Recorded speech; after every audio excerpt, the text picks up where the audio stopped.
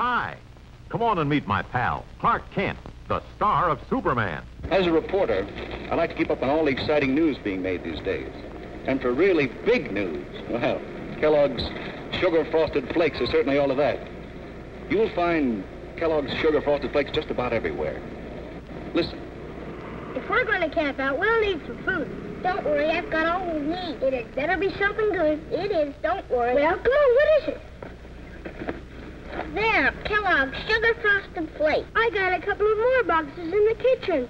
I eat Sugar Frosted Flakes for breakfast. Sure are good, aren't they? Everywhere I go, I find kids and grown-ups eating Kellogg's Sugar Frosted Flakes for breakfast and for snacks all day long. You'll really go for Frosted Flakes, too.